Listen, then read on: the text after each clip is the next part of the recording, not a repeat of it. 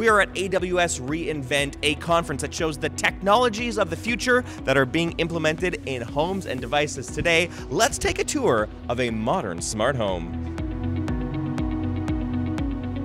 So, with Prime Video, when you're watching television, maybe sometimes you see a sweater or something that someone in the scene is wearing. You go, Boy, I would look so good in that sweater. I want that thing. We have a new technology called Shop the Scene. It allows you to, while you're watching TV, open up your mobile Amazon shopping app, see the scene in the TV, point to it, and you're going to see products that are very similar to what you're seeing on the TV that you can buy on Amazon.com or Amazon.ca. Alexa Plus has just made its way to Canada, and this is really going to be a transformative way for us to communicate with our smart home. Can you tell us a little bit how, about how this experience might be different? With Alexa Plus, we're now using generative AI and large language models. We have access to the internet. We have access to agentic tools. We can bring back answers to answer any almost any kind of question you can ask. We ask it about hockey scores, we can ask it about recipes, we can ask it about tourist information and travel guides, all of that it's able to deliver for us. This isn't something we have in Canada yet, but shows us what the future of maybe our taxi experience could look like.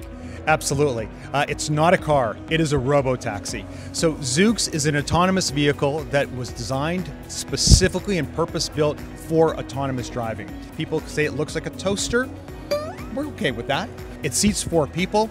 They sit facing each other. There's no steering wheel, there's no pedals. You get in, it's a beautiful experience, and it takes you to where you need to go. Amazon delivery vans, we've seen them around our neighborhoods in Canada, but the newest generation of these things look a little different on the outside, but there's some extra smarts inside to help those deliveries get to the right people. Absolutely. We want to make the customer delivery promise as, uh, as seamless as possible. And we also want to help our delivery drivers. Now we're using a new technology called VAPR. And what it does is it actually shines green and red lights.